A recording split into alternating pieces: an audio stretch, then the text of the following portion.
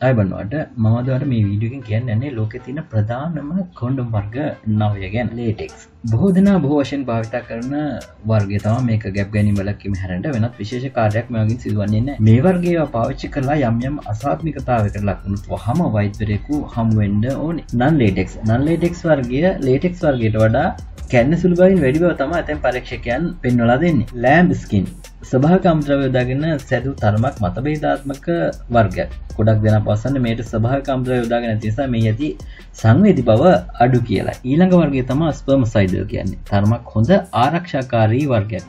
මේ වර්ගේ නිපදීමේදී යොදාගෙන තියෙන රසායනික සංයෝග නිසා ශුක්‍රාණු පැමිණි විටම ඒවා විනාශ කිරීමේ හැකියාවක් මෙම වර්ගයට පවතින ෆීමේල් කොන්ඩම්ස් පිරිමියට විතරක් නෙවෙයි කාන්තාවටත් පැළඳීම සඳහා මේ වර්ගයක් තියෙන නමුත් ඒවා පිරිමි කොන්ඩම් තරම් ජනප්‍රිය නැති ඒවා භාවිත කිරීමට ඇති අපහසුතාවය නිසා කාන්තාවගේ සර්ය තුළට මේවා පැළඳ යුතු වෙනවා. ලුප්‍රිකේටඩ් මෙත් අද වෙල්ද පොලි ඇති වඩත් ආරක්ෂාකාරි වර්ගයක්. මේ වර්ගේ පැළඳීමට තරමක් පහසුයි. ඒවා තරමක් තදර නිබඳලත් ඒට හේතුව තම මේ වර්ගේ කිසි විටක කැඩී නොයමට. අල්ට්‍රතින් ගොඩාක්ම තුනි ලෙස නිපදූ වර්ග ඇත්වන්නේ මේ කොටසටයි. මේවායි තුනි වනිසා වඩා වැඩි සංවේදීතාවයක් ලැබෙනවා.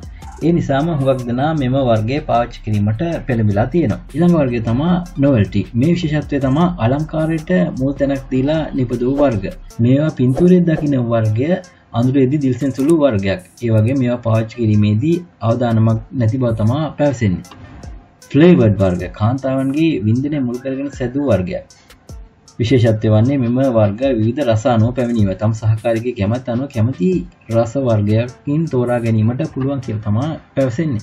ඉතිං ඔය විදිහ වර්ග තමා විශේෂත්වය අනුව මේවට තියෙන්නේ ඔයා මොකද හිතන්න? ඔයා ඊළඟට තෝරගන්නේ මොනවර්ග එකක්